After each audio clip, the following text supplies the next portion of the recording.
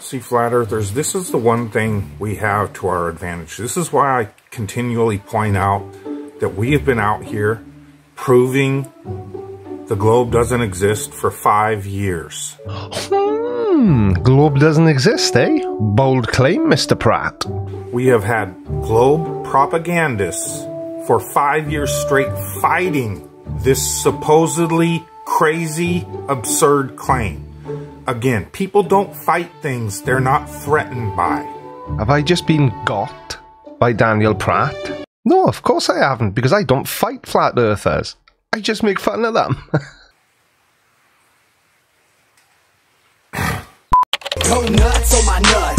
Hello everyone and welcome to another episode of Playing the Blinder with me, the Creaky Blinder. Now first of all I'd like to welcome everybody that's come across from the SciManDan channel and apologise in advance because, yeah, we do it very differently. For five years, Can you not interrupt Daniel? That's very rude and I have not been doing this five years. It's actually been two. Today we're going to be taking a look at channel favourite Daniel Pratt and his ramblings because he's always got something to say. Never really makes much sense, but stick around and we'll take a look. Tidy. ask anyone that's been around like I have for that entire five years how much money you think has exchanged hands in the flat earth topic, both pro flat earth and against flat earth. Probably a lot, but I'm not really sure what that has to do with the shape of the planet we live on. Some people are making pretty good money. I'm sure some of them are. Making good money, that is. I'm not one of them, sadly. But the amount of money you make from the content you put on YouTube comes down to how much effort you put into it, how well received it is by your audience, and how honest you are in your content. There's been a lot of donation money thrown around. I've received some of it myself, nowhere near the money I would need to to do what I'm about to show you, okay? Ooh, exciting. What are you going to do, Daniel? Book a flight to space to prove to yourself that we live on a globe? I wonder if you could book it just one way, maybe. That would easily end this argument, period. I've nailed it, haven't I? Daniel Pratt is in communication with Elon Musk. He's going up on the next flight. He has to be. What else could he possibly do to prove to himself, a flat earther, that we live on a globe? Because after all, if you can't see it with your own eyes, how can it possibly be real? Because it's actual science, okay? Ooh, do you mean The intellectual and practical activity encompassing the structure and study of the natural and physical world through observation and experiment. Is that what you mean? I've spoken about it, demanded it, begged for it, pleaded for it, Oh, right, so we're back to talking about money then. and still. Now think about all of the universities and billions of dollars that are donated and funded to these universities and their science departments, okay? Well, yeah, science is hugely valued by society because the application of scientific knowledge helps to fulfill many of our basic human needs and living standards. For example, finding a cure for cancer and developing clean energy sources. Both very important, highly valued scientific discoveries. And then I want you to think about not only why can't we get it done now, but why has it never been done in the past? Dan, you're going to have to elaborate a little bit. It is not the most descriptive word you could choose. Get to the point. Well, because once again, it would prove the flat earth. Wait, so it proves the flat earth. You're going to need to tell us what it is. And that kind of goes against their whole deception. okay? But it's really this simple. Yeah, and if there's anybody who's qualified to demonstrate simple, it's a flat earther. And it's undeniable. It would pro- provide the very repeatable, verifiable, falsifiable, testable proof that we've been demanding the entire time. Once again, unfortunately for the scientism establishment, it proves the flat earth, not the globe. And here it is. Okay, allow me to interrupt. I'm a big fan of managing my viewers' expectations. So please don't get your hopes up too much. All you need to do is take one swimming pool, construct some sort of girder system that can be measured with pre precision technical equipment to make sure it is within thousandths of an inch tolerance like aircraft are built, okay? Thousandths of an inch. This is easily done in today's world, okay? Then have a probe coming down from said girder that can touch in one foot increments all the way across the pool.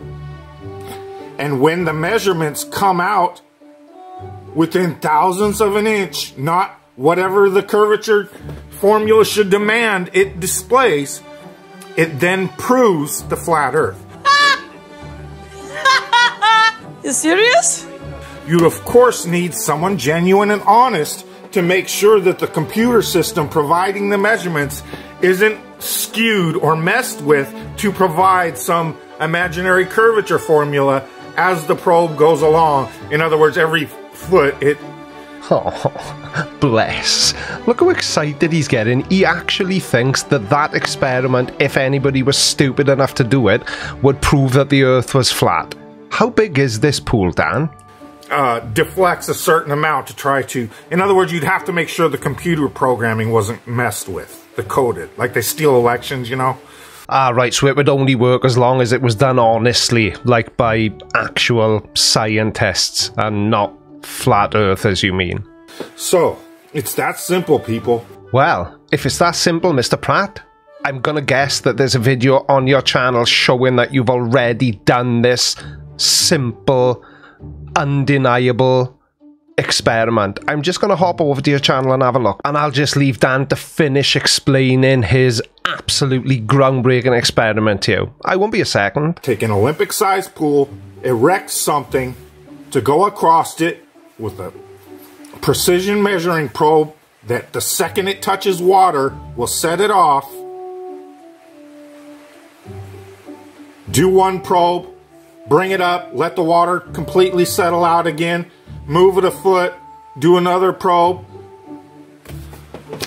What is so hard about that?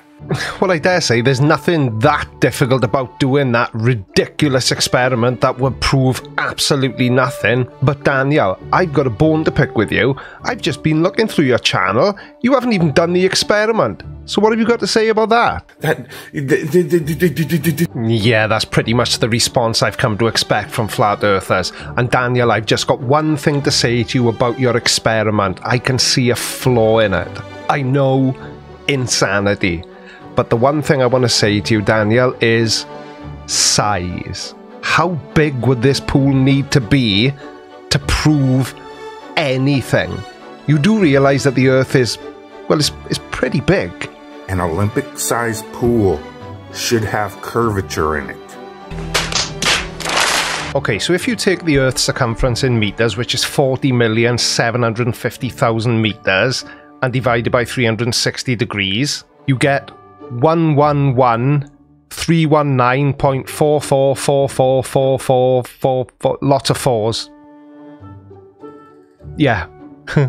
Okay, mate. So using this as the uh, circumference of the Earth, what I did So don't pay any attention to that. It's uh, a glitch. So I don't know exactly what's going on. I definitely, definitely didn't ask Conspiracy Cast to help me with the maths. Now, basically, if you take that 111.31944444 figgity figgity 4 is I divided that by 306.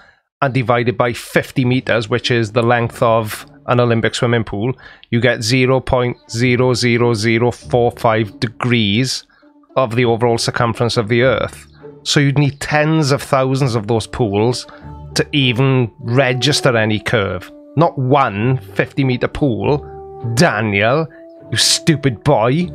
And if you plug those numbers into the Earth curve calculator, which again I definitely did myself, the number is so small it doesn't even register any curve. Now, I'm very reliably informed by my super maths brain that you could work that figure out, but maths. Therefore, there must be measurable curvature in an Olympic sized swimming pool. It cannot be measured. They damn well know it. So all they can come and do is provide semantical arguments to avoid doing the science that will prove them wrong. Sorry, Daniel, but I must interject based on the amount of hassle it was just for me to find out that little bit of maths information, which I definitely did all by myself. It just wouldn't be worth them doing because they already know, based on mathematical maths. oh, dear me. An Olympic sized swimming pool doesn't prove anything, you dickhead. And that's what we've dealt with for five years. So you morons can keep trying to come up with your semantical little distractions and diversions from doing actual science like you have for five years and think you look brilliant. Well, I wasn't going to bring it up, Dan, but thanks. Oh, the astronauts at NASA and their families think about their little feelers. You're calling them liars. Um, um, cause they are. Sorry, kids of NASA lying astronauts. Your dad's a piece of shit liar that's deceiving humanity. Tough shit. It's called life. Get over it. You were born to a piece of shit lying astronaut. And that, boys and girls, is what we call projection. Projecting your own feelings of inadequacy onto other, usually much greater people. But thanks for the compliment, Dan. I'm glad you approve of what I do here. Brilliant may be a bit of a stretch, but I certainly do enjoy myself. Don't you just love Dan Pratt? If brains were dynamite, that guy couldn't blow his hat off. Thanks for watching, everybody. Don't forget to hit the subscribe button. I'm the Creaky Blinder, and I will see you tomorrow night on the Agree to Disagree channel. Don't forget to tune in. Take care, everyone. Bye bye. Alright, alright, watch this next. But before you do, make sure you subscribe by order of the Creaky Blinder.